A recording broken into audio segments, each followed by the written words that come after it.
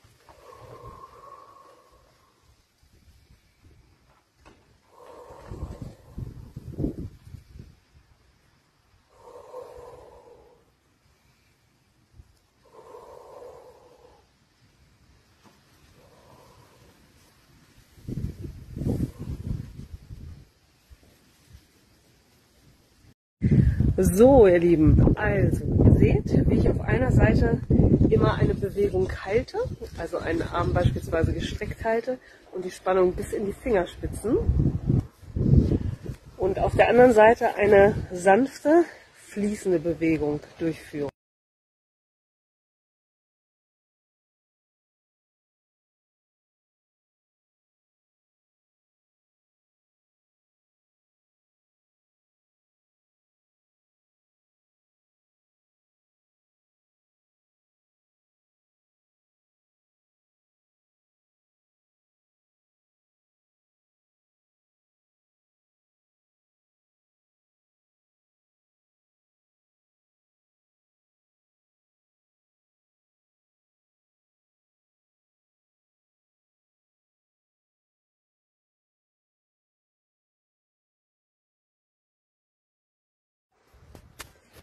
Genau, und über das weiche, weibliche, fließende bringe ich das Chi, das La, Ki, La, Chi, die Energie Prana, die Lebensenergie in den Fluss.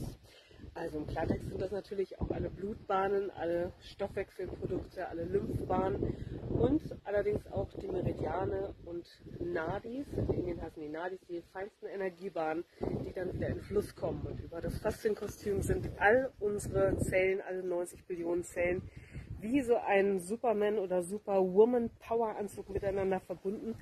Und alle Zellen telefonieren auch wie über ein Glasfasernetz. Die haben Mikrocomputer drin, Mikrotubuli nennt sich das, also wirklich kleinste Informationsaufnehmer. Und ja, es ist ein Informationsfasernetz. Also je besser die Faszien miteinander in Verbindung sind, umso besser funktionieren wir.